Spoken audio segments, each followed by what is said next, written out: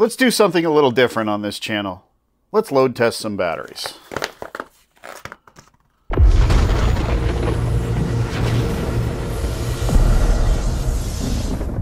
Throughout the electric turbo journey, I ended up accumulating a whole lot of really good and unique test equipment to do some high power testing of lithium batteries. Somebody pointed that out in the comments and suggested I should do some battery tests and reviews. So I figured we'd start small. Hopefully, if you guys like this sort of thing, we can do more. You can suggest what batteries you'd want to see tested. But typically, in order to do the most fun test for me, which is the load test, we want to see if these batteries can actually live up to their, their rating, specifically like can this thing really put out 100C? 100C would be 155 amps. We're going to find out, and we have ways to do that. We're also going to measure the internal resistance of the batteries, as well as the weight, the size, you know, how they come delivered, all kinds of stuff. This is going to be a very, very thorough test. So these are our three contestants. We have this Ovonic FPV 100C 1550 milliamp hour 4S pack. We have this Zeee pack, which is 120C, 1500 milliamp hours. And then we have this one, which is actually, uh, I was actually expecting uh, not just a black box in this bag, but this is actually a CNHL Black Series 1500 milliamp hour. I'm not sure what the C rating is, but we'll find out shortly. So let's open these up. Let's see how they showed up, how they shipped, and weigh them, and all kinds of stuff. Of course, I say that, and Oh, well, it helps if I open the box correctly. All right, so this is the CNHL battery. Now, paid for all of these. There are no freebies, so you're getting my unbiased opinion. All right, so this guy is 100C 4S 1500 milliamp hours. These are all approximately the same sort of class of battery. All right, let's try this one. This is a Zeee. I have some experience with their batteries. But again, I paid for these. It's actually a two pack because it's the only way to buy them. We'll save the other one for later. And this is the Ovonic. All three of these are available on Amazon. That's where I got them from. I'll put links in the description below if you want to buy one. If you want to buy the winner, maybe you're an underdog, you want to buy the loser. I don't, I don't know, but it's going to be down there below. So feel free to use those links. It helps the channel. I'm not going to lie. All right, so here we go.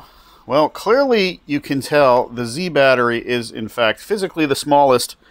Let me grab a caliper. We're going to measure these in millimeters. This one is about 70. So we got 70 by 35-ish by 34. 70 by 35 by 34. This one is about 77 and a half by 34 by, let's call it 40-ish. This one is about 74 by 37 and a half by 35.4. All right, so there's your sizes if you want to know if it's going to fit in your unit, whatever your unit may be. So let's weigh them. Weight tends to have an impact on performance. So the, what is it? China Hobby Line. I guess that's what CNHL stands for weighs 186.2 grams. The Zeee, which is the smallest battery, weighs 168.3. And the Ovonic weighs 187.6. So these two are within a gram of each other. This one's the lightest weight. Now they all have roughly the same C rating. And they all have roughly the same amp hour rating with it. This one brags about 50 more milliamp hours. We'll see. And which one is also rated at, oh, one of these. This one's rated at 120C. We'll see about the C. So once again, heaviest, basically the same, lightest. Moving on. All right, next question is, how are these shipped? At what voltage level? So this guy came in at 15.4. I didn't do this ahead of time. So they say 3.7, 3.8 volts is optimal for storage. So was this one? This guy was 15.4 mm, divided by 4. 3.85. So it's showing up just a little bit high, but, you know, eh, well, 3.85. it shows us all of them anyway. That was kind of dumb to do the math when I didn't have to. So this one, 15.2, 3.8, 3.77, 3.8, 3.8. So not bad. This one, the Zeee,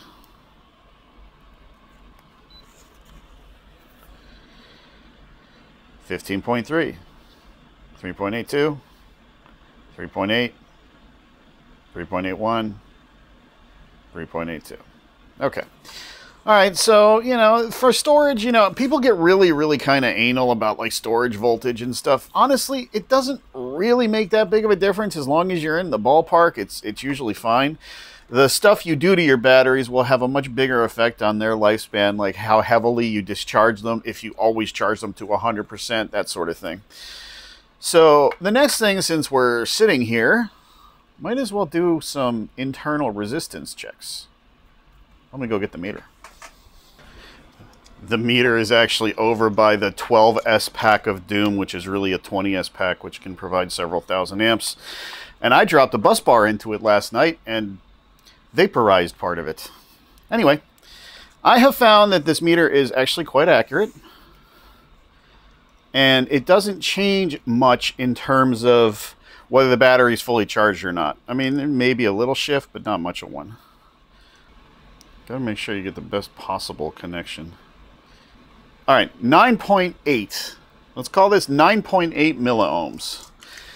And just for comparison's sake, to give you an idea, 9.8 milliohms, and this is rated at 100C, so that'd be 150 amp draw. 9.8 milliohms, if we do the voltage drop calculation, at 150 amps, so 150 times 0.0098 that's ohms. A 1.47 volt drop that we would see. So it's possible. This may do it. This may actually be a 100C battery. All right, Zeee is up next. 12.1. So, and ironically, this is a 120C battery. So that's not looking too good for the Zeee. Let's try the Ovonic. Whenever I see that, I think of ovary. I, I don't know why. Alright, so let's see what we get here. This one's being a little finicky. They all have XT60 connectors, by the way. That's about 9.42. So, Ovonic seems to be taking a lead. So there are two more tests left, two more significant tests. One is the high load test, see how they perform, and the other one is the capacity test. I'm going to charge these up so we can do the high load test. That's the one I like. That's the fun test. Meet my 7000 amp load tester. Well, actually, I've taken some of the graphite discs out of it simply because we're only measuring 150 amps. I've only got a 500 amp shunt in it with a 500 amp meter right now. That's the smallest one I've actually got. Again, we're only testing 150 amps. And the way these meters over here are configured, one is going to take voltage right off the balance lead, which actually takes a measurement right inside the battery itself. And this one will take voltage right on the other side of this XT60 connector. Incidentally, the gigantic box you see back here is the 12S battery pack of Doom. Well, it's really a 20S pack, but it's a whole nother story. We're going to use that to test the Hobbywing Castle P2 supercharger set up to its maximum capacity. I think we're going to test for five seconds at 150 amps. Sound reasonable? Now, theoretically, you don't want to take any one of these cells under 3 volts. So 3 times 4 is 12 volts. If we see 12 volts on that meter, you're in the realm of damaging the cells. I guess there's no time like the present, right? Let's hit it. There's 150, 2, 3, 4, 5. Well, I do declare the CNHL pack passes the test. I would legitimately call this a 100C pack. All right, Zeee. This one tested the highest internal resistance. By the way, all of these were fully charged up and they've been sitting for about two, three hours. So this is a resting voltage after a full charge. 16.77 volts is our start voltage. Is this to do it? Here we go. One, two, three, four, five. It did better than I expected it to. It got down to 11 and a half volts. But still, it fails the 100C. Now this is a 120C pack. So theoretically, that means it's 180 amps is what this thing should hold. Yeah, I, if, if it was down below 12 volts on a 100 seat, it's not going to hold 180 amps. There's just no way. I mean, we can throw it up there for a couple seconds. The pack's already warm. That's 180 amps. I mean, I'm impressed. Don't get me wrong. Something this size putting out that much current is kind of nuts. But Zeee, I don't think you actually passed the test. I'm sorry. Oh, and these cables are quite hot. Now the Ovonic pack. This one tested the best in terms of internal resistance, which means this one should perform the best in the load test. 16.81 in the pack, 16.72 on the other side of the connectors. Let's do it. One, two, three, four, five. And it did. It performed the best. It didn't get down to 12 volts until the very end. It was very, very close in performance to this pack, though. So these two are pretty comparable. I think you'd see the same performance out of both of them. Now, of course, Unfortunately, the Zeee performed the worst, but the Zeee is also the smallest pack. Let's hit it one more time. Let's see if this will do 300 just for a second. Yep. no problems with hitting 300 out of this little guy too. And incidentally, I'm just noticing this now, but the Zeee-Pack has by far the thinnest cables. These are both 12 gauge. This is probably 14 gauge. no, 13 gauge. 13 gauge cables, huh? Just noticed that. This thing is still hot. This thing is not really warm. This is kind of warm. This is the warmest, even though it's been sitting for a minute. So there you have it. Load test. They all passed in the sense that they didn't burst into flames. However, after five seconds, this one dropped its cells into damaging territory. These two were right on the edge, but they did pass. So the next test is going to be the capacity test. We're going to test them all to see how close they are to their actual rated capacity. And then we'll sum it up. Let's now do the capacity test. Let's start with the Zeee battery. Let's plug this thing in. I didn't have it plugged in before because it does that all the time. It's annoying, but whatever. So it's set to cut off at 12 volts or less, which is 3 volts per cell, which is as low as you want to go. We're going to discharge these at a 2C rate. That's a reasonable discharge for what these batteries are typically used for. So there you go. We're at 16.7, 16.6 volts, 16.7 is where it's living. So we are looking for 3 amps on the current draw. Let's do it. There's 3 amps. We're going to keep an eye on this thing and when it's done, I'll come back. I sat down to record and it literally just stopped. I was looking at it I'm like, oh, it's doing really well. Well, let's see where it ended up. 1,540 milliamp hours. So it meets its rating. Absolutely it does. So real quick, I noticed this when I put the Zeee battery on the charger to charge it back up after the discharge test. Look at the voltage of cell number four. That's uh, that's pretty low. That cell is definitely the weak one. The others are kind of in the ballpark, but that one is uh, not so good. next up is the CNHL. Let's just roll right into it, I guess. If you want to pick up this load tester, I'll put a link in the description below where you can get it. Actually pretty cool. There's our 3 amp draw, 2C rate, and I'll be back when it's done. Let's see where this one ended up. Oh, let's turn the load off. 1,520 milliamp hours. Again, just over its rating. Given the experience with the Zeee battery, I am curious to see what the cell balance is like. Let's try it. Feel free, dude. Just just keep going.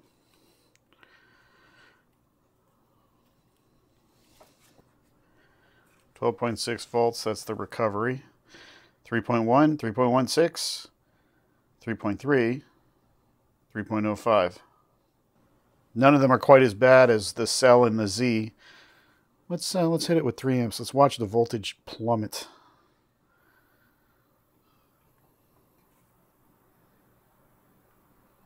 Twelve point one. There it is.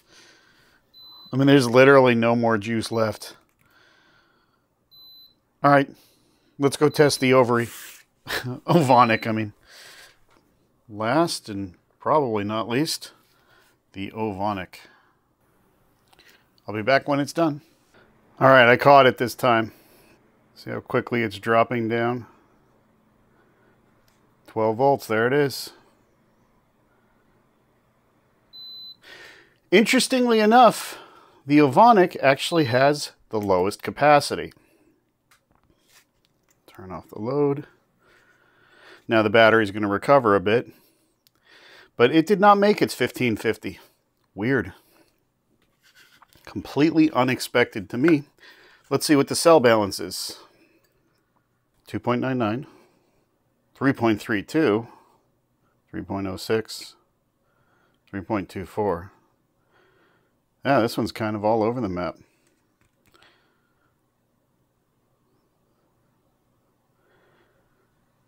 A bunch of stuff I didn't expect. Let's go to our conclusion. Before I offer up my final recommendations on these three batteries, I wanted to thank the viewers for suggesting this. More than one person suggested since I have all this equipment from the electric turbo stuff, I should test some RC batteries. This was actually kind of fun. I apologize if it was a little long-winded in places and a little clunky. It's the first time I'm doing one of these. But if you'd like me to do more, put in the comments below which batteries you'd like me to test. Now, I can't safely do a heavy load test on batteries much over 4S because you end up drawing a plasma arc in the load tester. Ask me how I know. So which one of these three do I think represents the best value? Well, even though it came in last place in the heavy load test, I think the Zeee is probably the best bet. Individually, they run 1665 each, but you have to buy a two pack, so there's that. Uh, the Ovonic is the most expensive at 2251, and the CNHL was 1999. The only place where the Zeee actually did come in last place was the heavy load test. It exceeded the capacity of even these two, never mind its rating. And I think that's because that's something that's, that's a trade off when it comes to lithium polymer cells. Basically, the higher the burst discharge, the lower the overall capacity. And I think we saw that proved here. But that doesn't mean that the Zeee batteries are the best batteries for whatever your application may be. Hopefully you found this data both useful and informative and please give me a thumbs up. It helps with the YouTube algorithm and we're going to go do some more testing with the Hobbywing setup. You're going to see the big massive uh, 12S battery pack I built to test it with and of course there's a lot more sledgehammer and electric turbo and track action. All kinds of stuff is coming up. Thanks for watching and I'll catch you all in the next one. Well, clearly Simon is refusing to move, so this is how we're going to do, see, see, see what happens? This is how we're doing the conclusion. Okay, all right, anyway. Ow, hey, hey, hey, hey, hey, stop it. I can't, I can't put my hands down, you psychopath. Ow, ow. Yeah, okay. All right.